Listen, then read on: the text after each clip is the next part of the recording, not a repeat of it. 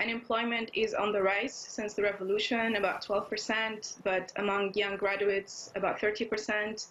Youth are marching uh, and protesting for high cost of living, the lack of jobs, the inflation, um, and I think for me, the ultimate problem is inequality. There is a huge rising inequality between rich and poor, killing the middle class. There's a huge economic disparities between regions, uh, north, uh, of Tunisia, the coastal and uh, interior and southern regions. So it's uh, it's quite intense right now. Um, but I wanted to say that uh, this is not new for January. Uh, since 2011, we have had protests almost every year in January. So I don't think this should be a surprise to the world or to the to our dear governments. I think they should have anticipated this after putting in effect uh, the budget on 1st of January. Uh, you, of course, were involved in the 2011 protests. How are you assessing the mood right now? Are we seeing the same kind of anger, the same kind of movement across Tunisia? Yeah, I mean, uh, for me, when I'm sometimes asked after every protest if this is uh, a new revolution or a new uprising, um, I always clarify that we are not done yet. This is an ongoing, uh, continuous campaign that started in 2010 kicked out the dictator in 2011, continued in 2013 with Bardo sittings, continued in 2015 with Manich Msamah, I Will Not Forgive anti-corruption movements, and continues today to be reshaped in this slogan, What are we waiting for?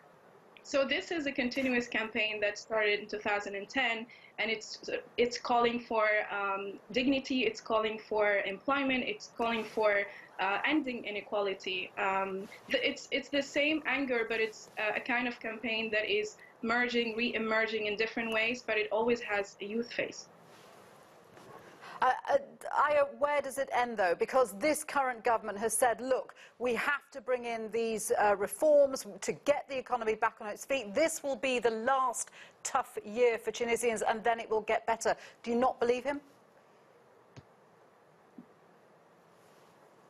No, I think we should. Uh, the the answer to uh, to inequality is ending uh, inequality. It's uh, not sacrificing the poor and the middle class by raising prices and ignoring tax evaders and businessmen.